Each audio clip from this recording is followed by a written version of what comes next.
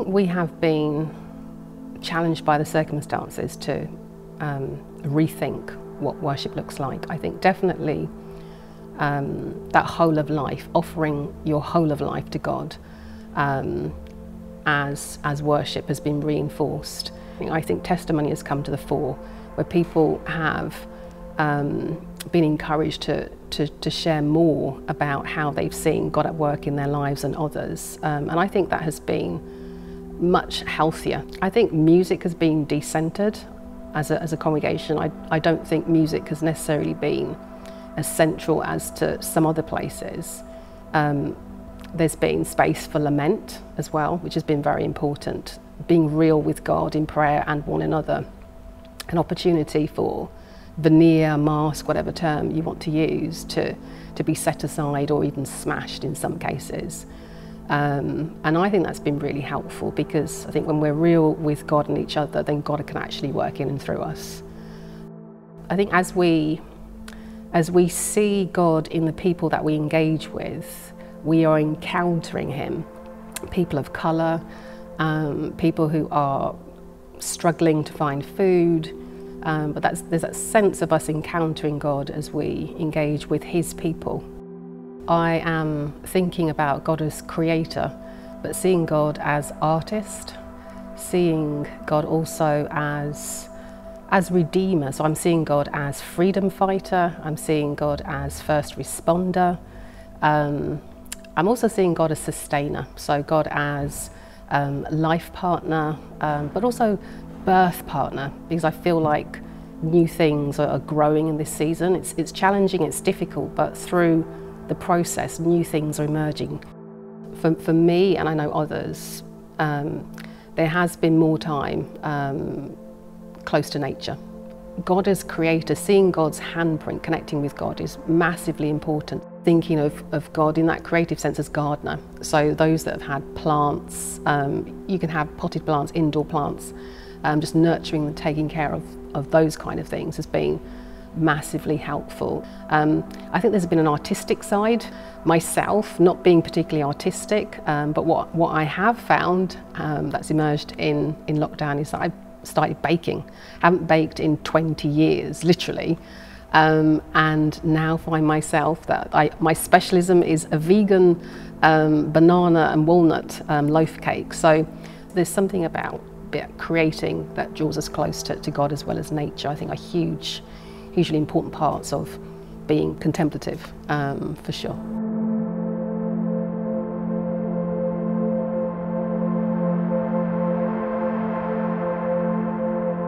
I think what we've seen emerge in recent years, and I think that um, the pandemic has, has maybe made it more obvious, is movements. Movements like Extinction Rebellion, like Me Too, like Black Lives Matter.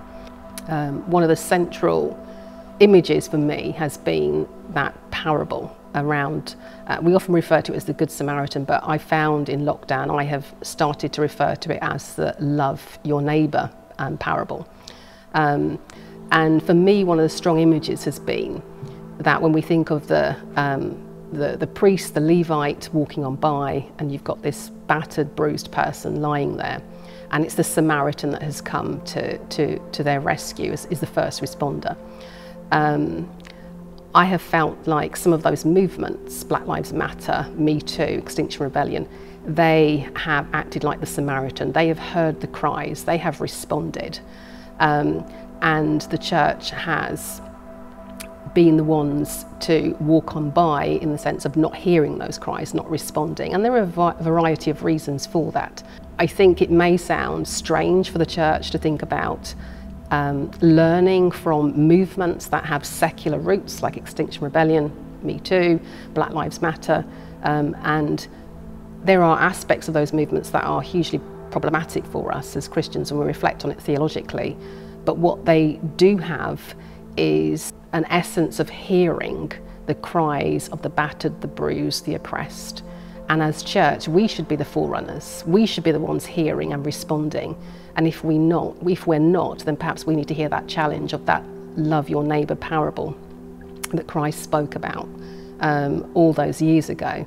And if if we feel uncomfortable by, by the fact that other groups are leading the way, then maybe we hear that parable in the way Jesus intended when he spoke it. It was hard for um, uh, the, the Jews of those days to hear a Samaritan who um, was not supposed to um, know and follow Christ like ways, to hear Jesus saying, Well, actually, they're acting in a more Christ like way than you are. It was incredibly hard for us to hear, but maybe that's what we need to hear now.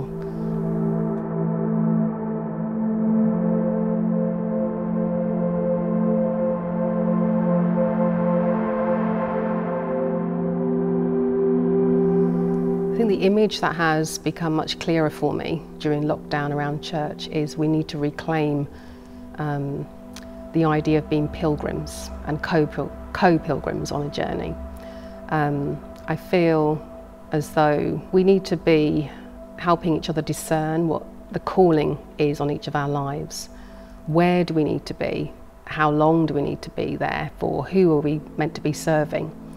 Um, again, a pandemic has made it clear to us that we serve a global church and the interrelatedness of all of it. Um, there's nothing like a pandemic for you to, to really understand how interrelated we are. Uh, Christians that aren't churched, they have reflected on what world leaders have done. So, world leaders that profess to be Christians, whether that is the um, president in Brazil, whether it's the president in the USA, um, because they declare that they are Christians, those who aren't Christians, aren't the church, have been saying, um, well, what does that say as to what it means to be church? And so we, as church here, have been impacted by what they're doing elsewhere. As Baptists, I think um, we are used to an understanding to some degree of being autonomous. Um, and what this pandemic has done has raised the importance of working together um, I found that as a congregation, we have been thinking a lot more about who our partners are. And so there are organisations like BMS World Mission that I think have been um, more on the periphery. So using a lot of their videos, um, having their voices, um, speaking to our context when we assemble has been hugely important. Um, I think the Joint Public Issues team, some of their resources, some of their podcasts. I think even to what's happened in Beirut in Lebanon, it's been interesting hearing what, some of the, the, the, ministers, the pastors have been saying there. And um, their hope is in the global church. Um, and whatever movement you want to think about that's happening worldwide, um, Black Lives Matter has been the cry of some.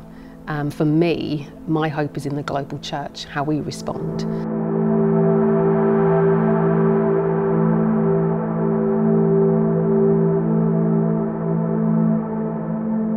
We describe ourselves as a movement, but I feel as though there hasn't been much movement um, for quite a while. I think there is a lot of stagnation. People are stuck. Congregations, churches are stuck. Um, and one of the reasons we're stuck, I believe, is that we haven't intentionally invested enough in um, identifying and growing leaders. We need leaders that reflect the, the social, ethnic backgrounds of our communities because we see life from um, the perspective that we, we find ourselves in. So as a, as a black woman of Caribbean heritage, um, born and raised in, in Britain, I see the world through a particular lens because of my experiences, because of the way in which my experiences have been shaped by my identity. So um, I see and bring things that only a black woman of Caribbean heritage could see and bring in this context. The focus on, on needing younger leaders, if we just think about how society has changed during lockdown, if we then think how society has changed over the last 20 years, um, we can see how um, for some leaders in their um, more advanced in their years, they found it harder to adapt and understand some of the technology. Some of the younger leaders, um, they have literally just hit the ground running because um, it's what they're used to. The world doesn't stay still. Um, and so we need to be prepared and ready for what may emerge, may happen as the pandemic has shown us. So for me, I, I say, um, when we look at biblical terms, we need more Lydias, we, more, we need more Timothys. When I look at church history, um, I look at some of the great leaders like the, the freedom fighters like um, Sam Sharpe, the Jamaican Baptist deacon that led the rebellion um, in, in Jamaica that brought slavery to its knees. I think of people like Rosa Parks, um, Martin Luther King Jr., um, and the recent late John Lewis. Um, John Lewis famously saying that we, um, we need to um, get ourselves in good trouble. Um, we need to be raising leaders who understand, embrace that Christ. When I think of Christ, you know, he would have been regarded as um, someone who got in trouble in his day. I would say good trouble, using John Lewis's words. We, if we're going to be a movement that mobilises people, that hears the cries of the oppressed, the battered, the bruised, um, then we need leaders who are able to um, respond and recognise those cries. Yeah, that's, that's my, my vision, my hope. Timothy's, Lydia's, Sam Sharpe's, uh, Martin Luther King Jr.'s, Rosa Parks, John Lewis's, more. I say more, more please.